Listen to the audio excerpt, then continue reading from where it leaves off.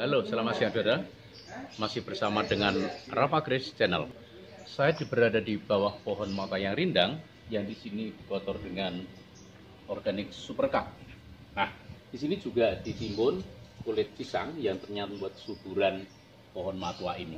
Dan di atas sana tanpa dispray ternyata sudah mulai bunga yang cukup banyak. Bahkan istimewa bunga-bunga itu berada di uh, dahan-dahannya bukan di ujungnya ini karena kesuburannya.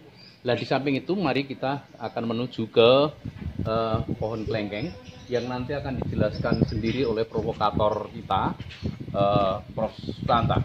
Uh, selamat siang Prof. Stanta, silahkan gimana jelaskan tentang spray ini. Ya, ya, ya. Iya. Ya. Iya. Monggo, Stanta. Ya, ini Pak. Selamat siang untuk ini kita ini kemarin kita lakukan pemotongan cabang biar bodinya cabangnya merata banyak cabang melingkar. Kemudian ini kita spray dengan perangsang bunga yang sudah kita share kemarin di Rafaget ini pakai 10 mili dalam 10 1 liter air. Kita spraykan pada daun-daun ini.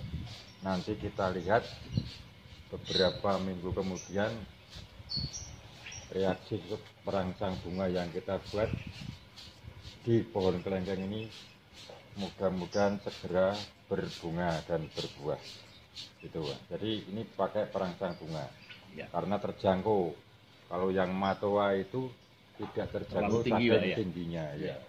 Tetapi tak kenyataannya karena Tapi subur ya bunganya ada di dahan-dahannya.